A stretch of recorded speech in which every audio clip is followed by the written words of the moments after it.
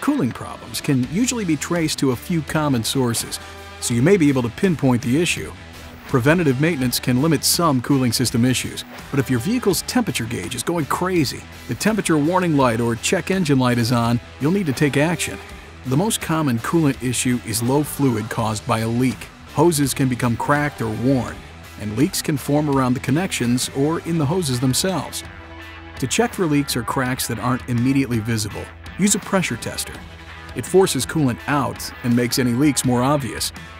Old coolant is another common culprit of cooling system failure. When was the last time you flushed and filled your radiator? Old coolant can lead to corrosion of the radiator and put hoses, the water pump, thermostat, and radiator cap at risk.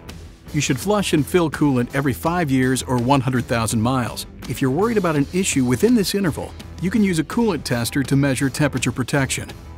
Another common reason for coolant problems is a failed thermostat which regulates coolant flowing in and out of the engine.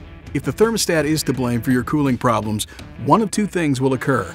Your thermostat may fail in an open position, creating a continuous flow of coolant into the radiator, causing the engine to run inefficiently and other parts to incur extra wear.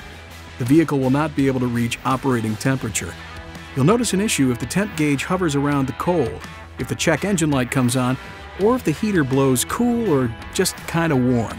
Your thermostat can also fail in a closed position, blocking coolant and causing the engine to overheat. In either case, a dashboard light will surface and the thermostat will need to be replaced. If this happens, stop by AutoZone and use our free Fix Finder service to help identify the problem and get a recommendation for a likely repair. AutoZone, AutoZone.